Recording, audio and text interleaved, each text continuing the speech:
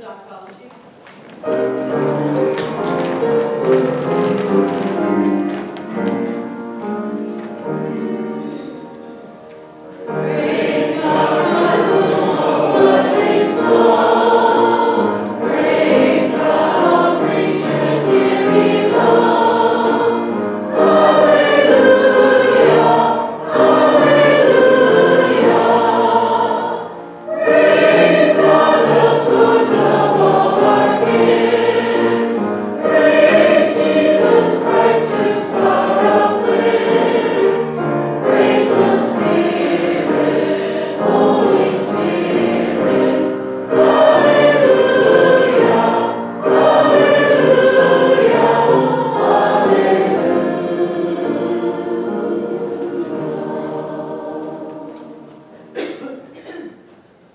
Lord, we pray that you will find these gifts acceptable and that you will guide our thoughts and our actions so that we, we may use them to bring greater